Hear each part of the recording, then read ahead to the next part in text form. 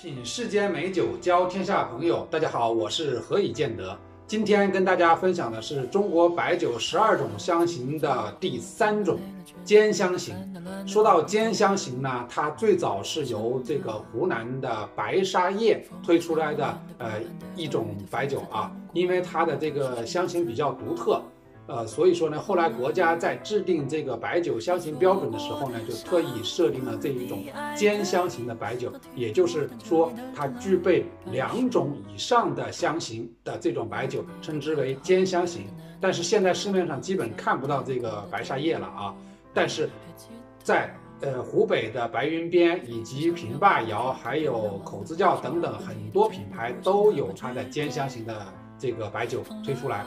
呃，今天我要跟大家品尝的这一款呢，就是呃小郎酒的兼香型，它是龙头降尾这么一个特征啊。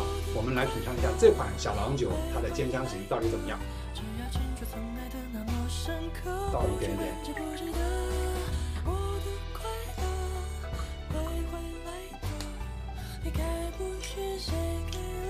首先我们来闻一下它的香味儿啊。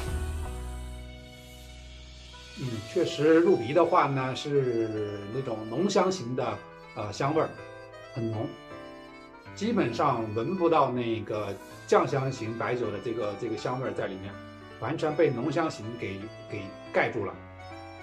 我们来尝一下它的这个口感怎么样。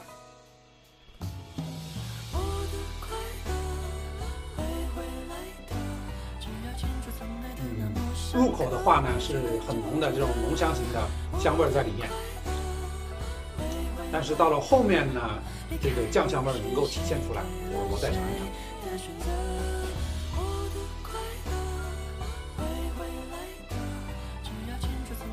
确实是啊，浓头酱尾，前面呢那个浓香型的特征很明显，到了后面你能够。